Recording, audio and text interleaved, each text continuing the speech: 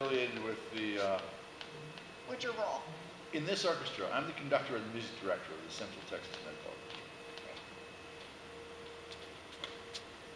Setting the scene All here. right, Absolutely.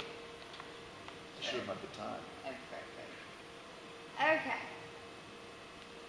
Why did you get involved in this medical orchestra?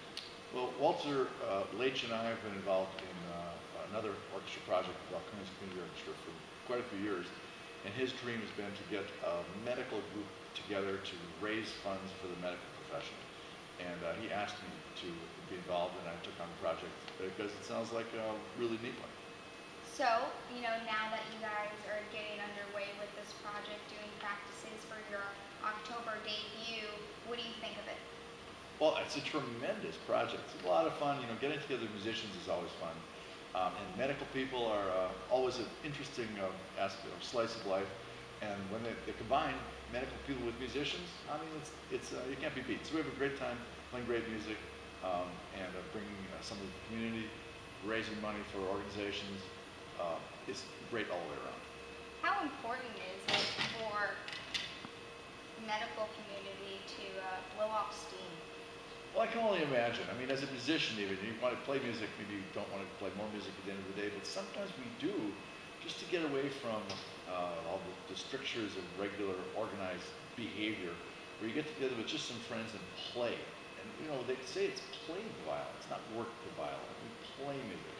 So when you get together, it's really about having fun, and everyone needs that. I think uh, I encourage everyone. I think people with especially stressful jobs, for instance, those in the medical field uh, where there's a lot of responsibility in every decision they make.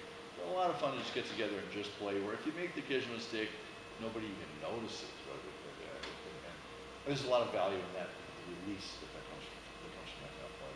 So, right now, who do you kind of have on your team? Well, we got about 30 players. Um, the Austin music scene, as you know, is a wide variety, of a lot of people involved. Um, uh, difficulty is uh, getting people to rehearse on a given night. Uh, uh, and uh, you know, everyone's busy, and of course, music musicians lead very complicated lives, doctors lead complicated lives. Um, right now, we haven't put the whole team together, but we have about 30 people who said they're likely, and it all depends on how things go uh, in the actual rehearsal nights coming up. I'm looking forward to getting about 40 or 45 players. Um, and we have uh, some soloists who can play with us already committed.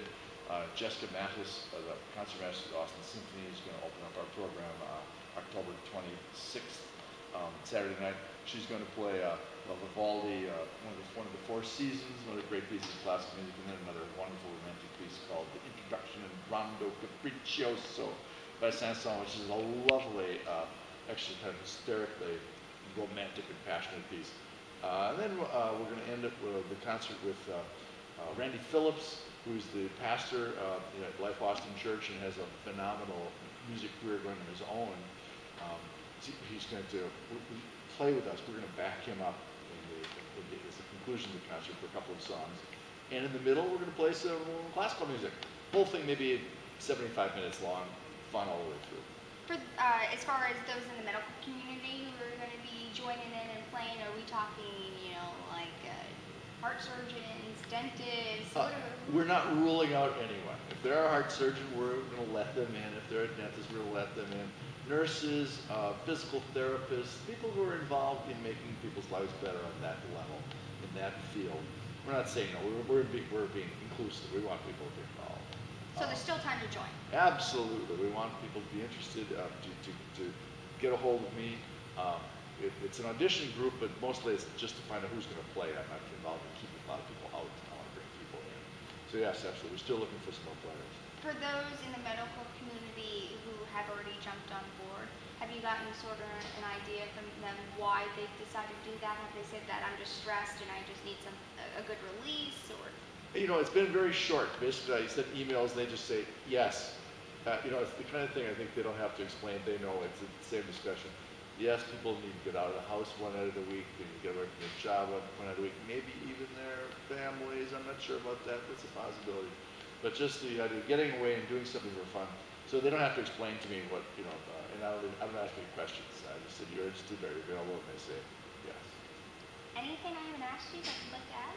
Uh, we're gonna give three more concerts through the course of the year, uh, one around in, um, early December, one in February around uh, Valentine's Day. That's gonna be a wonderful concert with Susan McDonald playing a great piece, uh, the Concerto Aranjuez of Rodrigo.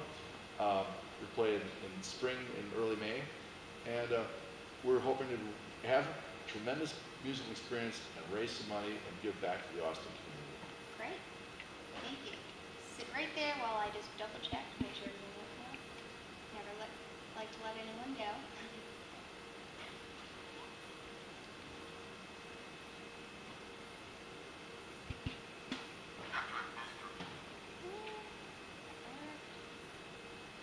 Perfect, thank you so much. Ashley, we also might want to mention we booked Guy Forsyth and um, Sara Hickman. Okay, Like, uh, Prop stuff, like, Okay. there's well-known names. okay, who have you already booked? Well, uh, in our, our more popular contemporary uh, artists, or who call them our guest artists, uh, Sara Hickman is going to play with us in uh, December, and Guy Forsyth is going to play at our Valentine's concert on February 15th. So there'll be two guitar players on that concert. It'll be a lot of fun. So there's gonna be, these are gonna be very large productions. Well, it, it's an orchestra concert with a little extra special spice is what we're looking for, a little extra flavor. Thank you.